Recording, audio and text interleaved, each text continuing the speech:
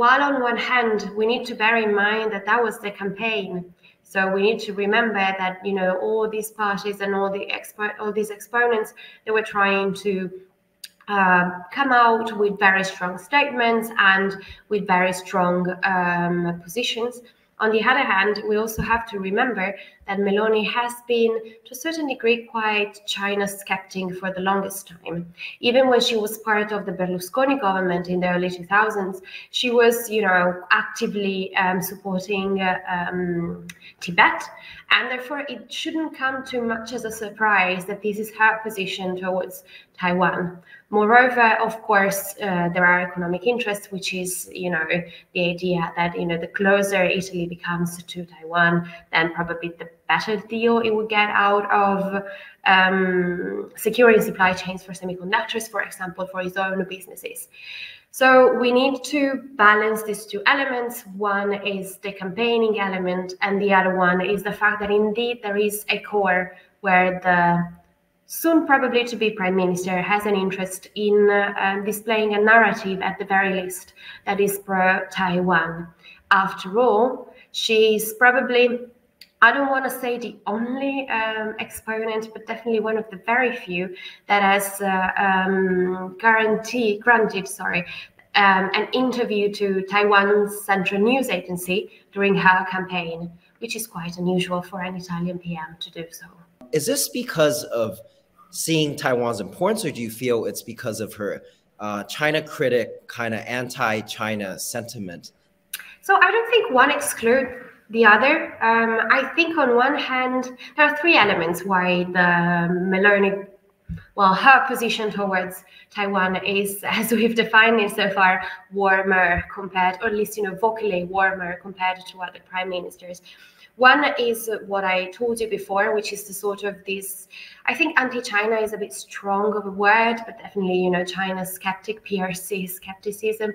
The other one is definitely seeing the advantages of being of having a good relationship with Taiwan economically, but also, you know, if we think about the uh, the general asset of the, the international community, it's quite likely that you know uh, Meloni sees Taiwan as a, a good and a positive actor. But we also need to remember the third element, which I do think plays quite an important role, which is the fact that Meloni, during the campaign, has been growing a closer relationship towards um, what is the Washington line. So probably she was also trying to display a policy towards Taiwan that would please Washington, and this is likely to continue during the government will there be a change in Italy's role in the G7, given that um, she's been more um, active in terms of supporting Taiwan and being more vocal about that support? I think so. I think there will be a little bit of a change. Uh, the main reason is that at the end of the day, this is a populist government. So we've seen in the past how populist governments, Italian populist governments at the very least, tend to be much more vocal in the international scene, which means, of course, that yes, for sure, we're going to see changes in the G7, but probably they're not as negative as people think they would be because of this cozying up between Washington and Rome. Should the administration change and should we get not only a Republican government, but a Republican government led by Trump, then of course we would still have Rome close to that type of government, and that of course the line would change in accordingly. What does that translate to in terms of support for Taiwan or policy towards China? The only thing that I can see that may be a little bit at Taiwan's disadvantage, if anything, in the long term, is the idea of you know diversification, the idea that we cannot be as um, reliant on just one source of uh, uh, one source for um, semiconductors and other high technologies.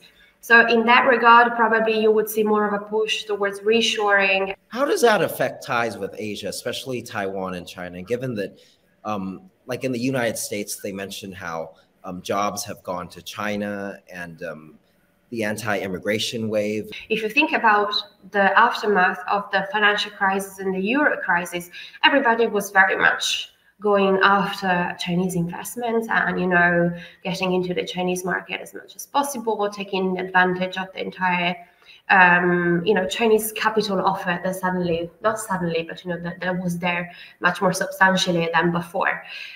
And that sort of uh, lived together with a sentiment that you know China was still selling much cheaper products, mostly manufacturing products, and in the case of Italy specifically, textile products, and that you know um, Italian manufacturer could not um, compete with Chinese manufacturing when it came to this. So you had this sort of uh, um, ambivalent position. On one hand, people really, businesses really wanted to take advantage of the situation. On the other, you also had this grievance towards this. Uh, quote unquote newcomer into the market that was pushing the, the locals out. What's the balance now? Do you see it going towards, um, you know, business opportunities, or do you see it going towards um, being wary of China's investments? I think he definitely went towards being warier of China's investments, like a hundred percent. On the other hand, I do think that businesses are still very much uh, committed to the Chinese market. And the reason why now there are movements toward diversification is not because businesses got warier of Chinese investments or investing in the Chinese market is because of the dynamic zero COVID policy that made the, the regulatory system and the business system so unpredictable that then businesses decided, you know, we need sort of an insurance that uh, we're not going to lose such a big chunk of our business if this, I don't know, if a port gets locked down or if a business gets closed. So, yes, sentiment has definitely moved in the direction of a warier feeling towards China, which to a certain extent comes with a warmer feeling towards Taiwan, but at the same time is not necessarily stable